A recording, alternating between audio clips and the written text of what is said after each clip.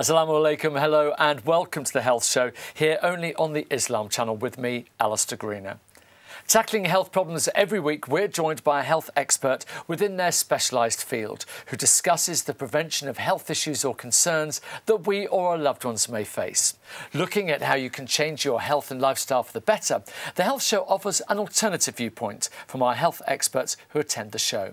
And we hope that this will really help guide you in the right direction. So if you suffer from any medical issues or have any health concerns, or for that matter, if you know anybody who does, then tune in each week as we'll be covering a wide range of topics, offering alternative viewpoints from our health experts.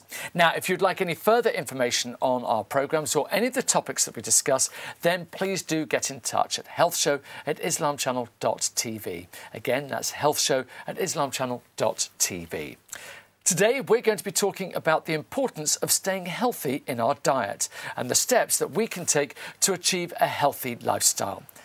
It's a great pleasure to welcome our guest today, Jo Travers, who is a dietitian and nutritionist. She's based in London and is the author of The Low Fad Diet. Jo, lovely to see you. Hi. And you were actually with us on the first series, so great to welcome you back. Yeah, thanks for and having me. Lots of new stuff as well to talk about Yep. as well. So Yeah. really looking forward to that. But before I talk more with Jo, let's take a look at how French pastry chef Sébastien Gaudard, I'm doing my best French accent here, teaches Cuban chefs the French art of baba au rhum. Uh, but shortages on the communist island make for unique pastries with a Caribbean touch. Let's take a look.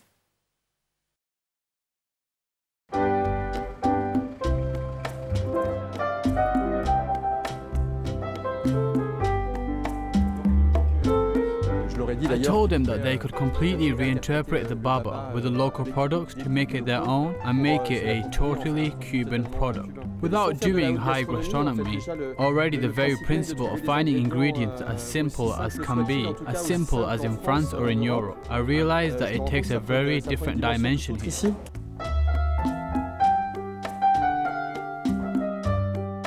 Para nosotros Francia es For us, France is the mecca of cuisine. They are famous for their cuisine, but also for their pastries. And having in Cuba Paris's Prince of Pastry is an opportunity. una oportunidad. Sí es difícil. It's hard to get a butter. conseguir, sí es difícil. If it's hard to get cream, it's hard to get certain things, but far from being a handicap, it's something we can use to create.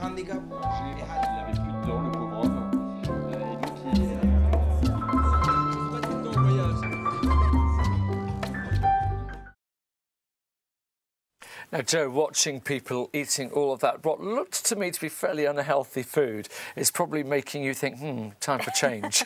well, everything in moderation is great. You know, there's nothing wrong with cake and pastries once in a while. If you eat them all the time, then you do often start to see, you know, builds up of cholesterol or excess weight or high blood pressure or diabetes. You know, so there are things, there are health concerns with eating too much, but eating the right amount is totally fine.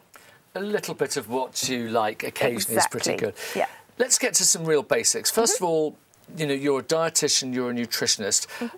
Some people might not- be familiar with those terms, so give us an idea of what that means. Sure.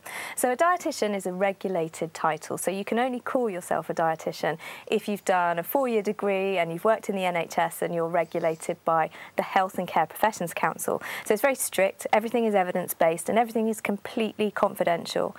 A nutritionist um, may not have the same qualifications, so it's not protected. In fact, anybody can call themselves a nutritionist, whether they've got any qualifications or not. So it's always worth double checking to see whether the nutritionist you're about to see has any qualifications. So And that's actually a really good point because so often we wonder are we getting the best source of information? Mm-hmm. Because when you certainly look around nutrition, you look at food we eat, you know, there's a lot of conflicting evidence out there. You know, we, we read the papers that mm-hmm. one day eggs are good for us, the next day they're not good for mm-hmm. us, and so on.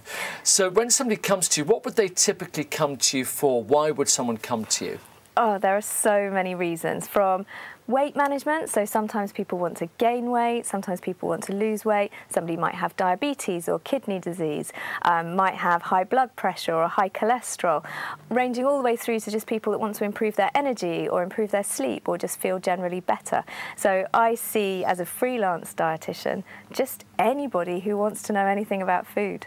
And it's nice that people are starting to realise that it's actually what we consume that makes a massive difference mm -hmm. to mm-hmm. our health. Yeah. You know, for so long, you know, people might take a tablet for a, a condition that they have or whatever. Not that we're trying to suggest otherwise, mm. but you know, they look in that direction rather than actually, well, what am I putting in my body mm -hmm. that makes a difference?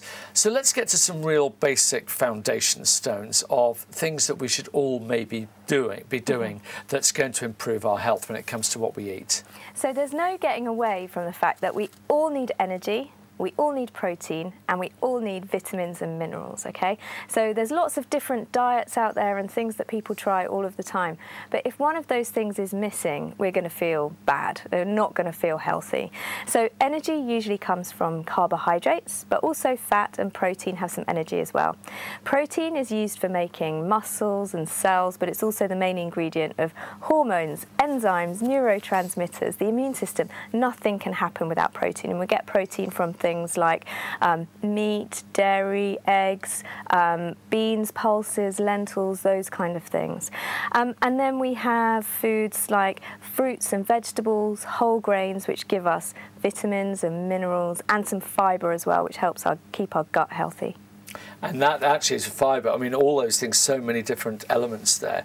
Let's talk a, a, through a few of those. Um, so let's first of all talk about fibre. You mentioned that last. We hear a lot about we should be having more fibre in our diet and less processed foods. Why is that? Right, so fibre is really important for helping food move through our gut, all the way through, from the mouth all the way through to the other end.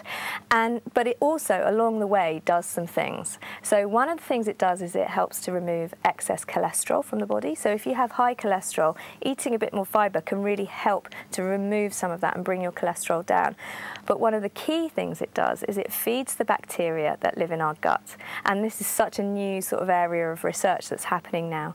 We now know, and in fact, the gut gets called the second brain because it has, you know, hundreds and hundreds of thousands of neurons down there. They're brain cells in our gut, and there's a real connection between the gut and the brain. So actually, the things that we feed the bacteria that live in our gut alter the kind of the environment there and can also how, have an effect on how we feel in our brain as well. So there's a real link between stress and gut health too. When we refined carbohydrates, for example, so lots of white rice or white breads, you remove the fibre part from it. So actually consuming wholemeal breads and um, brown rice and things like that will really help. But pulses and beans and lentils, they contain lots of fibre, as do fruits and vegetables as well. And the more you get, the, the, greater the diversity of bacteria that live in your gut that can do all of the different jobs that they do down there. So um, there was a recent study that showed that people who ate 30 different plant foods in a week had a much greater diversity in their gut bacteria than people who only ate 10. So actually, and they found that that had an impact on their health. So getting a really good variety is really important we hear a lot about gut health. We've mm. seen the mm. adverts on TV, and as you say, it's a very new, up to date subject. What about the sort of I guess the, you'd call them almost the alternatives to fibre. So we hear about some of these little smart drinks mm -hmm. that mm-hmm. you can have, which apparently put back that gut health. Do those tend to work? Sometimes they do, um, but some of them don't have a lot of evidence behind them, to be honest. If you think about it, something that's going to go through and populate your gut has to go through a lot first. So it's got to survive stomach acid and things like that. So you need to have a really good delivery system. If you're considering taking a probiotic, so that's bacteria that you drink or eat to populate your gut, it's worth going and seeing a pharmacist and just asking them which ones are the best, rather than just grabbing one from the supermarket. And that's the challenge for many people when it comes to nutrition. The array of food that we'll see on our supermarket yeah. shelves, it's sometimes tough to know where to start. Yeah. So great. So we know we should be having more fibre, mm -hmm. and you've given us lots of different things that we can have fibre in. Are there any things that maybe where people say, "Oh, I don't really want to have fibre because you know, it tastes like cardboard or something like that," which I'm sure you've heard before. Yeah. What are the tastier fibres, which actually are really good for us, but we might not realise actually there's a massive benefit in them. Yeah, so I mean, any kinds of fruits and vegetables. So if you like fruit, there's loads of fibre in fruits. Things like um, like prunes have had a real, you know, they've got a reputation for being really high in fibre. But other fruits and vegetables are too, so any of those that you like. Um, dried fruits too, so if you add a handful of raisins to your breakfast, you're increasing your fibre intake like quite considerably. So it's a really good idea to kind of look around and think, well, how can I incorporate a bit more into my diet? So choosing granary bread instead of a white bread, so one with seeds in it or a wholemeal one, that will have a lot more fibre than a white refined flour one will. And it's always great to look at those options because often they do taste a lot, lot better. So actually, mm -hmm often just try them and see what happens. Let's come back to fruit and veg. We hear about this five a day. Some people are saying 10 a day. What's your view on that? okay, so it's at least five, I think, is probably a good place to start. Um, in this country, in the UK, it's reckoned that people get about three a day on average, which is just not enough. Yeah. So the reason we need fruit and vegetables, apart from the fibre, is the vitamins and minerals as well. So every process that happens in your body requires at least one vitamin or mineral for that process to happen because they're working in reactions and sometimes those reactions won't be able to happen if you don't have that vitamin in order to make the recipe work. So you need at least five a day for that to happen and a portion is what you can fit in your cupped hand. Okay, so if you're a giant, you have giant hands, you need giant portions, okay? So whatever you can fit in your cupped hand is one and you need at least five of those a day. And everything counts tinned, fresh, frozen, dried, it all counts. Now, that's an interesting topic as well, isn't it? About the freshness mm -hmm. of mm-hmm. food and frozen. Before we came on air, we were actually talking a little bit about the virtues mm -hmm. of both. Talk us through that, it, you know, because sometimes people maybe aren't quite so, um, you know, kind in their words they mm -hmm. use about tinned food or frozen food. But what's your view on that? So when we preserve food, we do alter it slightly generally. So when you are preserving something in a tin, you're heating it up, you're cooking it, you're pre-cooking it, killing all the bacteria in it, and it can live in a tin for you know, forever almost. Um, but when you heat it up, there is a slight decrease in some of the nutrients in there. It's still good though. Um, with, free, with freezing food though, you don't have that cooking. So what happens is things get picked and they get frozen straight away in order to keep it fresh. And that prevents any deterioration of nutrient content. So when we buy something fresh from the supermarket, actually it might not be as fresh as you think. It might have been in a warehouse for a long time. It might have flown halfway across the, the world. So we don't really know how fresh those things are. And the longer you keep something picked off a plant, the, the more the nutrients deteriorate. It is amazing because I do some, I grow some of my own vegetables and stuff like that. I'm fortunate I'm able mm. to do that. But the flavour is so much different mm. when it's freshly picked. So you know the difference yep. between something that's maybe, as you say, mm -hmm. has mm-hmm. been chilled for yep. maybe up to weeks or something yep. before you actually get to eat it. Let's talk about the, the, the naughty stuff. You know, we saw okay. a little bit there on the clip and the refined foods, the cakes and so on. Mm -hmm. Give us a little bit of a hit list of stuff that we should be aware of okay. and we should try and cut down. You said earlier on not cut out, but what should we be cutting yeah. down on? So things that have lots of sugar in are a problem because I mean, sugar itself is not actually that bad for us in the right amounts. If you have too much of it, though, it does become a problem for teeth, but also for your blood sugar. So when you eat large portions of carbohydrates or sweet foods, sugary foods in one go, what happens is it pushes your blood sugar up. And when your blood sugar goes above a safe level, that's a problem because it can damage the walls of the blood vessels in your eyes and kidneys and nerves. So your body will then bring blood sugar back down very sharply. And then what happens is, instead of using that energy from the sugar, it just stores it in fat cells around the middle. And that's why it's very easy to gain abdominal fat around here if you eat lots of sugar or lots of carbohydrate in one go. So the trick is, I'm going to use my hands again because they're okay. really useful for portion sizes. Because again, if you have big hands, you need big portions. Small hands, small portions. A portion of carbohydrate is about the size of your fist, okay? So that's things like rice, bread, pasta, those kind of things. It should be about fist size. If you have more than that, the chances of your blood sugar spiking and crashing are are going to be higher. Now, when you're thinking about things like bars of chocolate and cakes and pastries and things, that should be a rough guide as well. So stick with under under that and try to have sweet foods with other foods as well. So you get some fibre in it and it slows down the release of the sugar into the bloodstream so you don't get that spike in the first place. Because that's a bit of a challenge, isn't it? Because you look at some of these lovely bars in mm -hmm. the mm-hmm. supermarket which have got nuts and mm -hmm. things, you think, oh, this is all good for me, this is all great. But actually, there's a huge amount of sugar sometimes in those, aren't there? There can be. It's always worth checking the ingredients list. If glucose or sugar or fructose or one of those things that ends in O's hmm. comes first, that means it's the main ingredient. So try and look for one that's got oats or nuts as the first ingredient. And oats and nuts in a cereal bar actually are brilliant because they've got lots of fibre in them. And they, like I said, they slow the release of the carbohydrate, slow the release of the sugar into the bloodstream. So instead of getting a sugar spike, it's a much more gradual rise.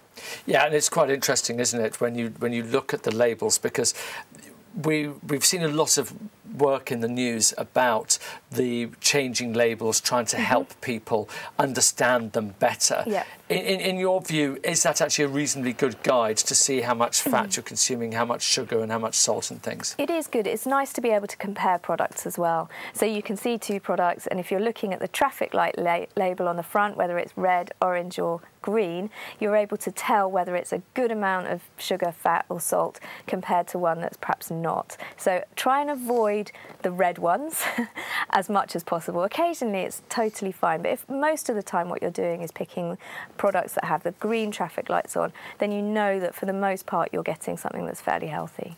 You talked about uh, people struggling with their weight, and I know that's a big issue for many mm. people. And a lot of them will say, But I feel hungry. Mm -hmm. I mm-hmm. feel hungry all the time. I feel like I need to eat. Are there things which are natural sort of appetite suppressants? Are there natural ways of ensuring that you don't feel as hungry? Fibre, again, we're back to fibre. Right. So, plenty of fibre is really, really important. But also getting the right amount of protein. So, if you don't eat enough protein, it's a problem because your body needs protein in order to function properly. So, if you're not giving it the ingredients it needs, it sends a message saying you're hungry, you need to eat again. But the other thing to be aware of is the balance between carbohydrates and protein. So, carbohydrates, like I said before, is where we get our energy from. So, that's things like bread, rice, pasta, potatoes. And if you don't eat enough of those, that can leave you hungry too. So getting the balance right is important. So that fist-sized portion of carbohydrates, a palm-sized portion of of protein, and a couple of handfuls of vegetables is really what we're looking for at meal times. Now, this is going to sound a bit strange, but if you eat large portions of carbohydrates, like maybe two fist-sized, three fist-sized portions, when that spikes your blood sugar and crashes, you then can be hungry again. So even eating too much carbohydrate can make you feel hungry. So it's getting that balance right. It's a little bit of a balancing act, but what I like to suggest is if you think about your plate and you split it into three and you fill half your plate with vegetables or a mixture of fruit and veg, a quarter with protein and a quarter with carbohydrates in combination with those hand-sized measures, you'll be fine and possibly even a smaller plate than you would normally have as well. Mm. What about exercise? Because again, you talked about balance, mm -hmm. and you know, we we recognise that what we put in versus what we put out mm -hmm. in terms of energy and things. How much difference does exercise make to your ability to maybe have a little bit more food than you than yeah. you should? Yeah. So I mean exercise can make you hungry, it can, but it helps your body function properly. So we know now that sitting is one of the worst things that we can do. So I've got a fitness tracker and it, every um, hour, if I haven't stood up for enough and moved around, it sends me a little alarm saying stand up. It might go off in a minute. but, you know, sitting too much is a problem. But exercise can really help everything keep moving. So it can help your digestive system, it can help your brain, it can just help everything, you know, flow more easily. It can help with inflammation. It keeps keeps everything moving around the body. So actually doing some exercise, although it might make you hungrier, can actually give you much more energy. And that's really, really important. And obviously, mm. we know the benefits of exercise mm. through a multitude of, of, of different reasons. Coming back to the foods that we should or shouldn't eat, you talked about sugar there. Mm-hmm. Another food that we hear a lot about in the news at the moment is salt. Yes. And I know that for a lot of our audience Mm-hmm. who come from the South Asian communities, salt is a big ingredient. Mm-hmm. So salt has always been really important to all sorts of cultures in their cooking. It's a flavour enhancer, so it makes food taste really good. But also it can preserve food too. So lots of um, processed foods use salt as a preservative in order for us to be able to keep it for longer. So it has its really important uses. But if you have too much of it, it's a problem because what it does over long periods of time is it reduces the elasticity of your blood vessels. So at the moment, what should happen is your heart pumps, the blood goes through the blood vessels, and they stretch like that in order to let it through. But when you have too much salt over long periods of time, it stops them from being stretchy anymore that builds up pressure and that's what causes high blood pressure and that's a risk for things like stroke and heart disease and heart attacks so trying to reduce the amount of salt is a really good idea really what we're looking for is about one teaspoon of salt over the whole day And if you do your own cooking, you know how much you're putting in. And we're going to talk more about that Mm-hmm. later on, as well as mental health and also uh, children as well. But for the moment, thank you very much indeed, Jo. Uh, we'll talk to Jo more in the second half, but I must now stress that should you suffer from any medical problems or health concerns, it's always highly recommended that you contact your doctor or GP, as the Health Show gives you an alternative viewpoint to the health concern being discussed. As you heard, lots more to talk about. Don't go anywhere. We'll see you after the break.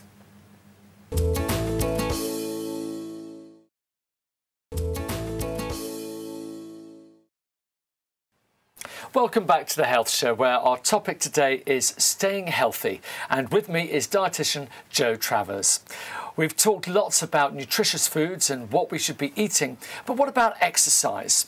Is it just as important as what we consume?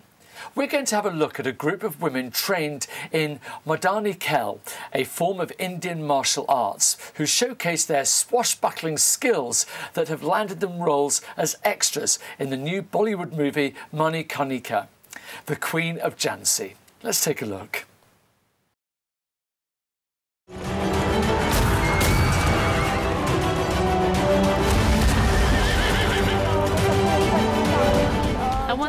Every girl that they should learn these art forms because they are a very good form of self-defense.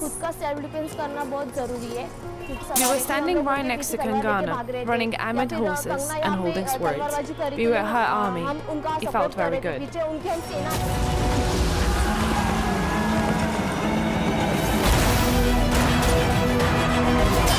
It's very energetic for us.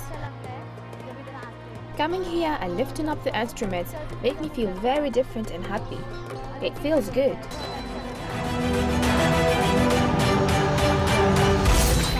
We hope that people who might be forgetting this art form will remember it. We want it to receive prominent recognition nationwide.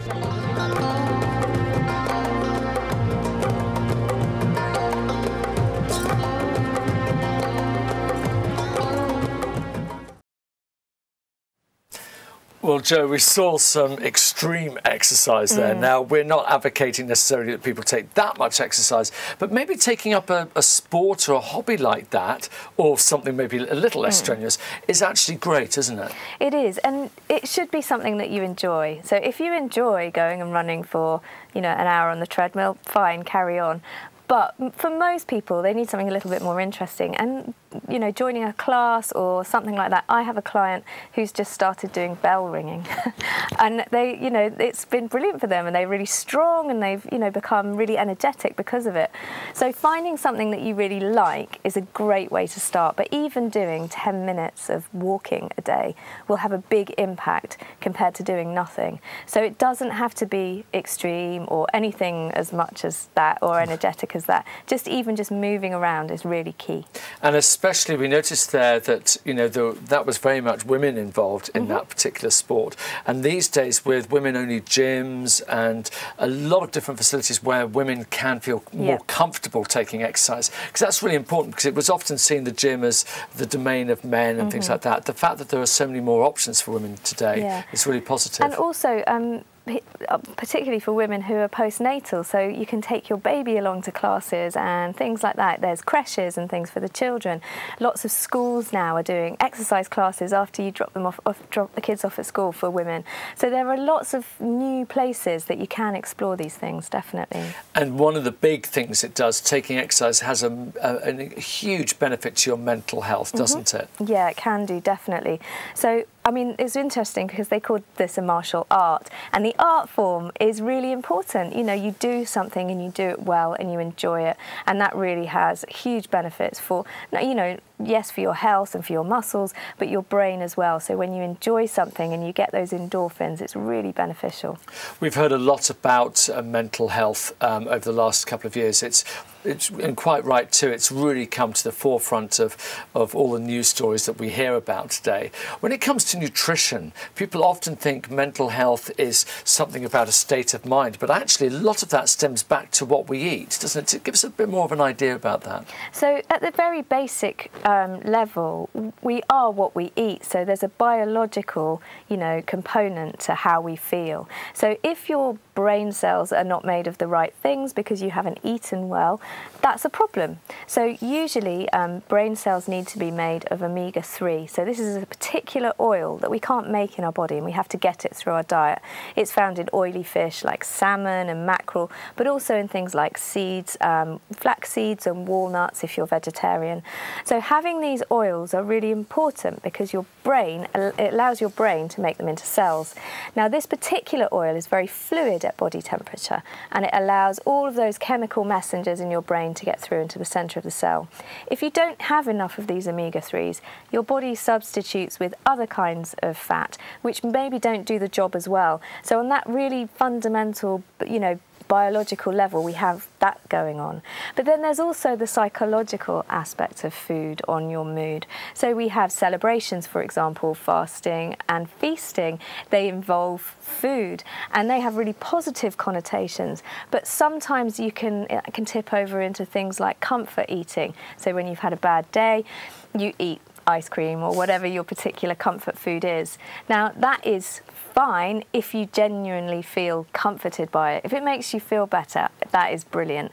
But what can often happen is it can tip over into feeling guilty or wishing you hadn't eaten it. And in that case, trying to respond to that and notice it and think about treating yourself well rather than treating yourself with food. So instead of, you know, getting some ice cream on the way home because you feel bad, you know, think, oh, what could I do to actually really treat myself well rather than just having a shortcut to these festive things that we might do and because they often don't work.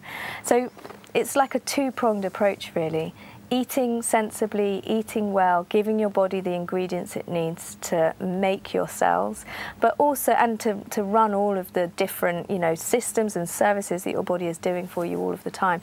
So getting plenty of vitamins and minerals that help those neural pathways to be formed is really important. And it, it, as you say, it makes a massive difference. You know, people often say we are what we eat, mm -hmm. and that's body and mind. Yeah. And it all really starts with developing good habits with mm -hmm. children. What's your advice to parents who are trying to do the right thing with their children, but of course they're passing fast food outlets and mm -hmm tempted by all of that. How do you bring that balance in with children so they're starting their lives with good nutrition? I mean, I think it sort of goes back to that thing that I was saying at the beginning, we all need energy, we all need protein, and we all need vitamins and minerals. So if you think about that plate model that I was discussing before, where you fill half of your plate with vegetables or a mixture of fruit and veg, a quarter with carbs and a quarter with protein, that works really well for children too. And if they're still hungry after that, they can have an extra snack and that kind of thing. But trying to bring as much food into the home as possible. So you sit around a table and you eat together and cooking is something that you do with your children. All of that helps them to go forward into their own lives doing those things for their children as well and it has a real positive impact on the generations below you. What about routine and you know having habits when it comes to food? Is it something that the, the, the body learns and therefore you get used to it having certain foods which are actually better for you than maybe the ones that aren't so good for you? Definitely. So there's lots and lots of research that says that, that show us that if you don't particularly like a food actually, uh, after several tries, maybe 10 or 20 tries, your body will accept that and you will actually like it. I mean, I've had this with my daughter as well. So she really, really hated courgettes. and I just fed them to her again and again and again. And now she loves them. She absolutely loves them. She's eight now. And my son, who is five, he's now going through a bit of a fussy stage. But, you know, I just stick with it. They eat what we eat and I put it down. If they don't eat it, they'll go hungry for a day. But they learn they learn it, and it is a really important part of growing up. You know, we teach them how to be young adults, and you know, part of that is teaching them how to eat well. And it's interesting that you were talking about, you know, gathering around a table and eating a meal together, which of course is something that people struggle to do yes. so much these yeah. days. But actually cooking as well from mm. scratch, how much benefit is there by doing that rather than buying a ready meal or something else?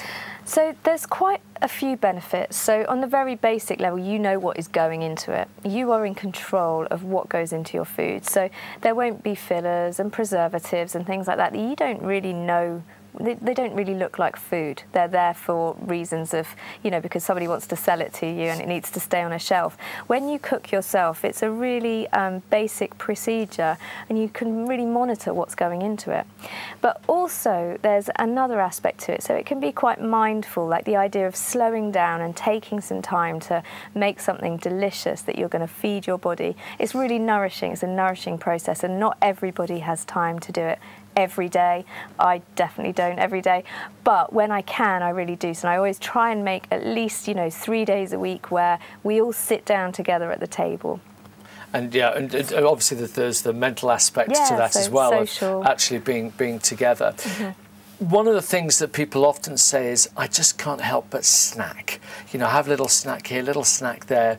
Again, how easy is it to train our minds and bodies not to snack as much or to maybe snack on something a little bit healthier. Mm. So snacks can be your best friend or your worst enemy. so if you're eating very sugary things or things that are not, uh, you know, full of salt, for example, that's not going to be really very good for us. And it may not even quench our hunger.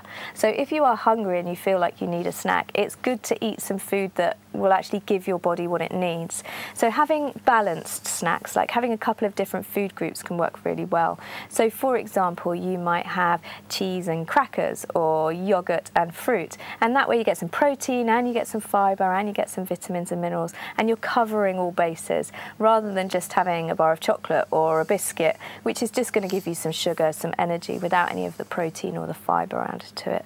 So if you are hungry, it is a good idea to eat something, but do, try not to just go for the quickest thing that you can. If you know if you're going to a vending machine, try and get some nuts and raisins rather than a bar of chocolate or a bag of crisps. The nutrition is often seen as just something that's quite nice to do well, but it's not necessarily that important. But I know for you as a dietitian and nutritionist, you've seen some dramatic turnabouts in people's health just because they've changed what they've been eating. Mm -hmm. Perhaps you could give us just an idea of a couple of people, a couple of patients or clients that you've worked with who've actually seen some remarkable transformations because they've changed the way they eat. Yeah, so often when I see people in clinic, particularly for things like weight management or eating disorders, people are coming to me and they're feeling really, really down about themselves. They don't really like the way they are living.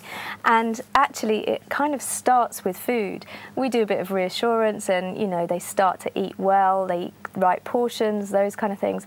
And the next time they come back to see me, they've lost some weight, they're feeling more they're feeling more energetic, they're sleeping better, they you know, they can concentrate at work and that has a positive impact. So we end up with this positive spiral and I've got this one client, I mean she's absolutely amazing. She's a lawyer. She used to be really really awful at eating and she would go long periods of time without eating and then just eat loads of rubbish and you know, takeaway foods and things like that.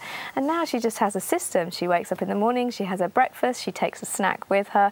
If she's busy in court, you know, she'll have it just as soon as she finishes. And, you know, she's lost lots of weight. She's feeling really energetic. She goes swimming three times a week now. So there's definitely huge improvements you can have just by starting small eating better. And it's interesting you're saying that that particular client of yours had developed a system. Yeah. Is that the sort of thing that you help them with? It is nice if you can have a system, you just get into the habit. So at first, it's a little bit of an effort to kind of think, okay, what am I going to eat? When am I going to do it? How do I need to take it? When do I need to shop for it? But that bit at the beginning is actually really only a few weeks until you're in, you've got new habits, and those are just the way you live now. So although at the beginning it's a little bit of effort and you know that's what I encourage them with, but soon enough people just take that and they can run with it. And it's interesting you say about the habits because I, I read somewhere that a, you do something for about 30 times it becomes a habit mm -hmm. and developing better habits. Now, for people, and especially we know from talking to some of our viewers, um, you know, who come from a culture where there's always food, mm -hmm. it's a wonderfully hospitable culture, how can you help people in those situations to actually just be eating a little bit less, a little bit more healthy, especially if they if there are cultural reasons that they're eating maybe mm. a bit more and eating maybe the foods that aren't the best for them? So I think it is about moderation. So when you are presented with a whole array of delicious foods, it's about taking a little bit of each thing, listening to your stomach, listening to your your hunger and your satiety signal. So when you feel when you don't feel hungry anymore, that's when you should stop eating. So that's a really good sign. So it's not really a feeling of fullness. If you've eaten until you're full, it's a little bit too much. So you should stop when you're no longer hungry. So it's just about thinking, actually, what tastes good right now as well. So your brain will be telling you this tastes brilliant, the first mouthful you have. But then actually, after a little while, that feeling drops off and it stops being so tasty. I do this really funny thing in clinic with people where I say, you can eat as much chocolate as you want and some people find that quite frightening. But you know, actually, there there becomes a time when actually after maybe the fourth or fifth, it stops being as delicious, and then it can tip over into actually this isn't that nice anymore. And it's about being mindful about it. So being there in the moment, enjoying it while it's going into your mouth, and then stopping when you've had enough, and it stops being so enjoyable. And that's a really, really good tip. And again, you work with lots of different clients. And being a dietitian, you see many different things. Mm -hmm. You mm-hmm. see people with all sorts of conditions which are often related to health. Mm. Can you tell mm. us a bit more about some of them? So I see clients um, for all sorts of nutrition related conditions. So on the one hand, it might be something that somebody that's trying to recover from surgery, for example, and they need extra protein. But then often it's um, on the other end of the scale, if somebody has diabetes, for example, that's very diet rela related, particularly type 2 diabetes. So we'll be looking at managing carbohydrate intake and, and that kind of thing. And then sometimes if it's got if diabetes has gone on to kidney disease, you have to be very strict with the, with the diet then. And that's why I always tell people if, if you have diabetes, just manage it really well because if it goes on to cause kidney disease, then you haven't got any choices about what you eat. You just have to eat what you're told. and it's really interesting actually hearing you say that, that it makes a big difference. Mm. And obviously, those are often diseases we associate with people getting older. Mm. So, mm-hmm. what about our, our nutrition and dietary habits as we get older? Are the changes we should be making? You, you hear about older people not being able to eat as late as they once could, eat as much as they once mm -hmm. could. So, how do our bodies change as we get older? I mean, there's different nutritional needs at every stage of life. So, children need lots and lots of energy because they're growing and running around a lot. As they get to teenagers, you need to have lots of calcium so that they can get their peak bone mass in ready for adulthood. And then as you start to get older, perhaps um, reaching the menopause, and as men get a little bit older as well, your need for nutrients goes up but your need for energy comes down. So you have to concentrate a lot harder on the things that you eat and eat less sugary things and less high fat foods and concentrate more on things like fruits and vegetables and whole grains. So those things become really, really important as the body becomes less efficient at working. Yeah, and, it, and, it's tough, isn't it? Yeah. When you get older, you know, you hear all the time about the fact that you don't need energy, but we're still probably consuming the same exactly. as we were. For somebody who might be watching, thinking, I know I should make some changes. I know I should be doing something, but I just can't get that first step. How do you deal with that when somebody is they sort of know but they just can't motivate themselves to yeah. take um, that first step? Motivation is quite important and if somebody is already thinking about making changes that's a really good sign. But I would say go and see a health professional. So somebody like me, everything is completely confidential. It's just you and me in a room together and everything is evidence based and we can explore different ways of, you know, working, making small small changes that will actually have a really big difference. So everything is kind of you know at your own pace you know even going to see a gp they can really help you and you know to, to kind of come up with something that would help you without it being too difficult it is, as you say, that it's it's that first step. And are there just little things you can maybe do straight away? You know, what, what would be your top tips of little small changes that actually can make a big difference? I think portion sizes are really important because it's very easy to eat too much or too little or not enough of one thing and too much of the other. So getting that balance right is probably the first thing. And there's an infinite amount of fine tuning you can do to a diet but it's the big stuff that really counts. So if you can get the right amount of carbohydrates and protein and fruits and vegetables, actually everything feels a lot easier, your body works properly, and then you might have time to, you know, think about all of the little tiny little things that you can do to make it even better. We hear a lot about superfoods. You know, mm-hmm. everything seems to be a superfood. There's, you know, one fad after another what sort of evidence is there behind these superfoods and the fact that they can really help? So superfoods is yeah, it's not a technical term and it's not one that the science that the science community usually uses. Um, but what it means, it's kind of become a phrase for a food that's really high in nutrients. So you get a lot of bang for your buck. So things like berries, for example, or kale and spinach, those things that have got lots of dark colours in them. They have what we call phytonutrients, and it comes back to fibre again as well. So these particular foods, they tend to have lots of different fibres in them and lots of different plant chemicals that can actually really help with things like inflammation in our body and feeding the bacteria that help us stay healthy. So that, that's generally the, the where the term comes from, really, really high nutrient density.